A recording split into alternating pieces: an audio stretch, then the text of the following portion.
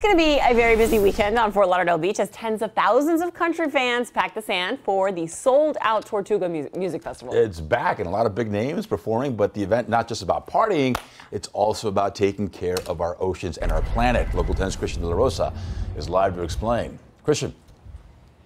Well, and we were just here, right, five months ago for Tortuga, but that was the 2021 pandemic edition. It is back at its fullest. And you said it, it is sold out. And so, what does that mean for you, especially if you're not here for the party? Well, let's talk about that while you look at video of what this looks like out here.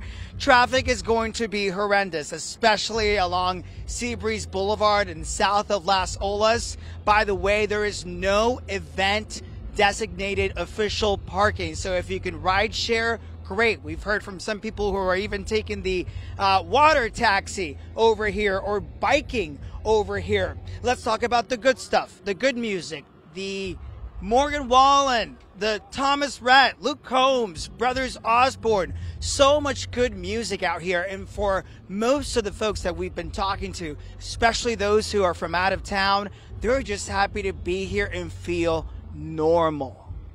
It is the best feeling ever. It, it's really a great feeling to finally feel a little bit normal. It's a lot better day. It's a lot bigger crowds. It's twice as many people, and it just it's a great event. It gets people out and about and enjoy the music, and it's going to be a lot of fun.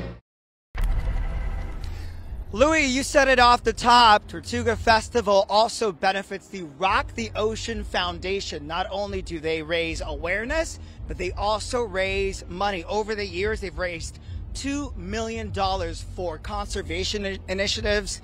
And I said this earlier, Louis, you loved it. Plastic bottles, plastic straws banned from the beach. Louis, back to you. I love that. Sustainability is the key. Thank you, Christian.